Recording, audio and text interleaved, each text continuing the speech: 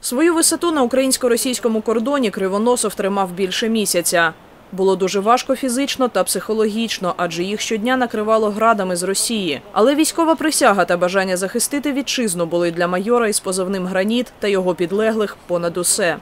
Це рядки зі статті про Героя України Сергія Кривоносова, який загинув у серпні 2014-го на Луганщині, прикривши собою підлеглих за день до ротації свого підрозділу. Про те, що історію чоловіка надрукували у книзі, дружина Сергія Анастасія Кривоносова не знала.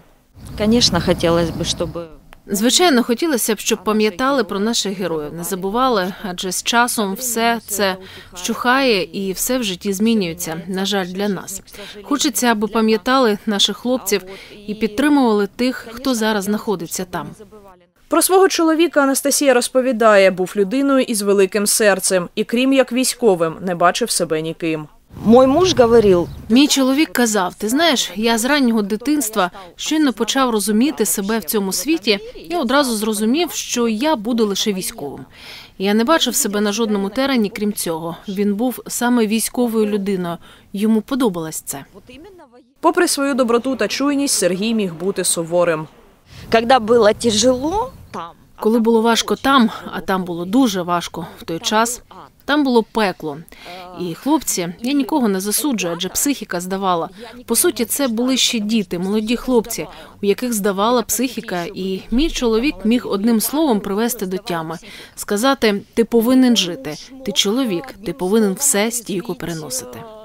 Історія Сергія Кривоносова розміщена у розділі Герої не вмирають. Там 46 статей. Оберіг пам'яті живих і тих, хто пішов у вічність, захищаючи Україну. Так про книгу говорить автор Борис Білик. 46 героїв, які пішли України, пішли у вічність, захищаючи нашу батьківщину. 22, 22 героя України, ті, які на даний час зах- захищають Україну. Їм можна додати, додати там. Ну дай Бог, щоб живих додавали, а не тих, які йдуть у вічність. Книгу обов'язково треба прочитати патріотам та школярам, говорить Борис Білик. Головна мета, значить, учні повинні України, учнівська молодь, повинна пропустити через свої голови і серця оцих героїв. Друком книги займається благодійний фонд Хвиля добра. Вартість одного примірника до 20 доларів. На сьогодні випущені екземпляри сигнальні. Книгу вичитують редактори. Ми вже видали три достатньо великих книжки.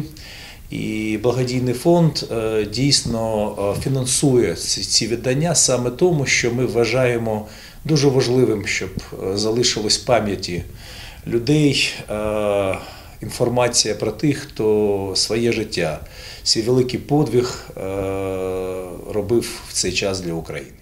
Готові примірники роздадуть всім школам та бібліотекам Миколаївщини. Незабаром планують розробити сайт, на якому у вільному доступі кожен зможе прочитати книги Бориса Білика. Завжди у бойовому строю у вічність ідуть найкращі та героями не народжуються.